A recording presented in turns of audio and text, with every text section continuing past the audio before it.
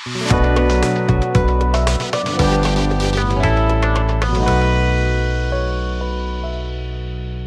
Factory ఛానల్ని మొదటిసారిగా చూసినట్లయితే సబ్స్క్రైబ్ చేయండి.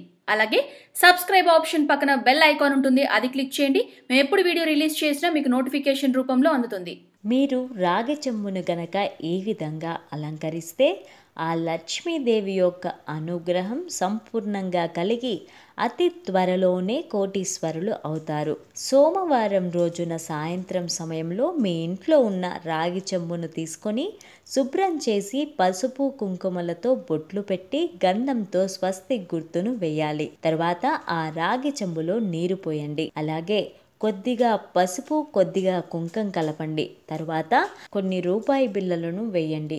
ఆ తరువాత ఏదైనా సుగంధ ద్రవ్యాలను వేయండి. అలాగే గులాబీ పువ్వులు చామంతి పువ్వులు కూడా ఆ రాగి చెంబులో వేయండి.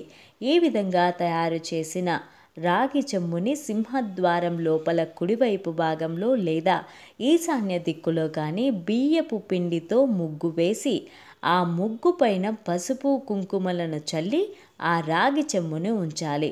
ఇలా సోమవారం మంగళవారం బుధవారం ఆ రాగి చెంబును ఉంచి గురువారం రోజున సాయంత్రం సమయంలో ఆ రాగి చెంబులో ఉన్న నీటిని ఏదైనా చెట్టు మొదట్లో వేసి మరలా అదే విధంగా రాగి చెంబుని సిద్ధం చేసుకుని అదే ప్రదేశంలో రాగి చెంబుని ఉంచండి. శుక్ర శని ఆదివారాలు ఇలానే ఉంచి సోమవారం రోజున సాయంత్రం సమయంలో ఆ రాగి చెంబులో ఉన్న నీటిని తీసి ఏదైనా చెట్టు మొదట్లో వేయండి.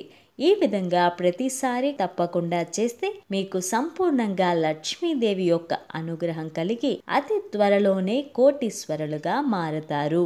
ఈ వీడియో మీకు నచ్చినట్లయితే లైక్ చేయండి షేర్ చేయండి మరియు మీ విలువైన అభిప్రాయాన్ని కమెంట్ రూపంలో తెలియజేయండి. వీడియో ఫ్యాక్టరీ ఛానల్ని మొదటిసారిగా చూసినట్లయితే సబ్స్క్రైబ్ చేయండి. అలాగే సబ్స్క్రైబ్ ఆప్షన్ పక్కన బెల్ ఐకాన్ ఉంటుంది అది క్లిక్ చేయండి. మేము ఎప్పుడు వీడియో రిలీజ్ చేసినా మీకు నోటిఫికేషన్ రూపంలో అందుతుంది.